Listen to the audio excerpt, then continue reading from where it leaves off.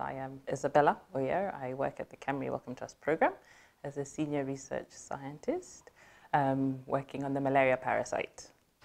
Um, so what my research involves is um, I look to understand uh, mutations in the malaria parasite. And these mutations allow the parasite to uh, resist drugs, so um, confer resistance to antimalarial drugs, and then help them to escape so that um, the drugs don't kill them. Um, another set of mutations that I try to understand is the stage of the parasite that gets into the red blood cells and causes disease, so the disease that we see like fever and chills. Um, and this stage of the parasite has a set of proteins that allow it to invade red blood cells. On these proteins, there are mutations. And as scientists, we're not entirely sure what those mutations are doing. So part of my work is to understand, do these mutations allow the parasite to escape the host immune system, which fights and uh, protects us from disease, or do those mutations actually allow the parasite to invade the red blood cells better and cause disease? So those are the two areas that I look at. Um, so one of the challenges is in malaria is finding a malaria vaccine that will work. And those challenges arise because the parasite has a lot of mutations, which is what I've just described. Um, previously saying that these mutations cause um, the parasite to either escape the host immune system. So if these mutations allow the parasite to do that, we need to find a way to understand them so we can produce better vaccines. So for instance, um, one of the lead vaccine candidates at the moment is a protein called RH5 in simplicity.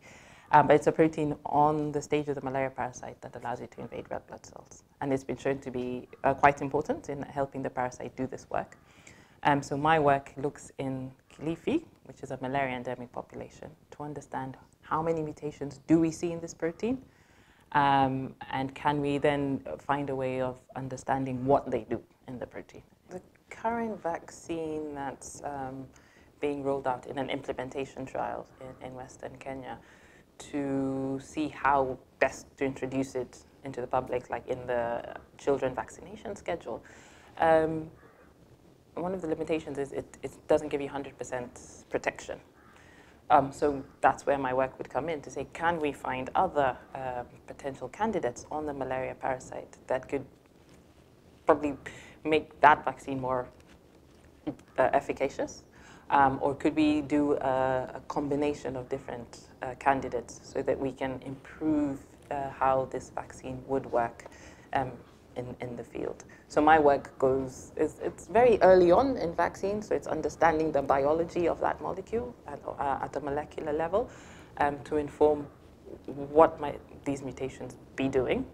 And if we know what they're doing, is there a way we can then de design a vaccine to um, encompass all those um, issues that arise from understanding the protein? Yeah. I'd say in, in, in Africa, in sub-Saharan Africa, in Kenya as well, I think it's very clear that malaria is a public health concern, a big public health concern. Um, it causes a lot of illness in children under five, in pregnant mothers. Um, and generally, being unwell is, is, is not a nice thing.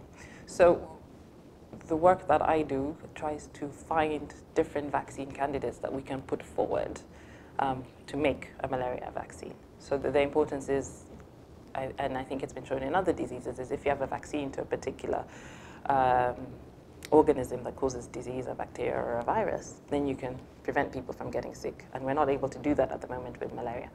Um, so my work, uh, the, the purpose of my work is to understand the proteins that we could use to inform vaccine design. What's been um, interesting in the field at the moment is um, the emergence of resistance to artemisinin in Southeast Asia. Um, now that's been a great concern because if that spreads globally, then we will not have a drug that we can use to protect people or to treat people rather. Um, uh, the other good thing that came out of that is um, a molecular marker, which is what we call a, a, gene that we know the mutation that confers resistant artemisinin. That's been described.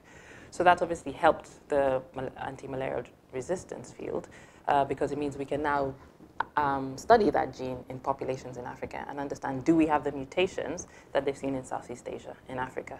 If we do, that would be a cause for concern. Um, but as it stands in the field, uh, for the studies that have been done here in Kilifi by myself and others um, in, in, other African countries, those mutations have not been identified. So at the moment, we're in a good, good place in terms of how the drugs are working in Africa, but it still means that we've got to maintain surveillance and monitoring um, anti-malarial resistance, um, particularly to artemisinin, because it's a very good drug, works, works very well, and if we lose that, then I think it will cause a problem for malaria control. Um, how my work um, Im impacts on translational medicine. Um, so I work primarily in the lab, doing uh, using molecular biology tools to understand uh, mutations, for instance, in drug resistance. Um, with this, we're able to inform uh, national drug policy by saying, are these mutations present in the population? And if they are, then that would inform a change in drug policy. So previously, for instance, we were using sulfadoxine pyrimethamine. Molecular work was done to show the mutations are present in Kenya, and that informed the, the National uh, Malaria Control Program that they need to consider changing the drug that we use. Um, and so currently what I'm doing is maintaining surveillance on, on markers involved in artemisinin resistance um, that will then feed into a policy in the long run as to whether we should be changing drug or not. Yes. So the roles that I play um, in the policy forums to try and um, influence um, decisions that are made around malaria public health um, policy. So for instance, I work quite closely with the National Malaria Control Program. In fact, we're the lab that is doing the molecular work for their drug trials. So uh, recommendation is you have to do drug trials in children, but we need the molecular work to understand whether the drugs are working well or not. And without the molecular work, you can't say that the drugs we're using to treat malaria at the moment are working well. So that's where our role comes in, in terms of understanding these mutations in, the, um, in, in, these markers that confer resistance to drugs. Um, the other way um, I'm involved with the National Malaria Control Program is helping them see the importance of molecular work generally in informing um, uh, primarily drug resistance and its, its utility as a good way of screening the population to understand what's the distribution of these mutations in Kenya. And that might inform where would you target uh, particular drugs in the event that there's uh, drug resistance.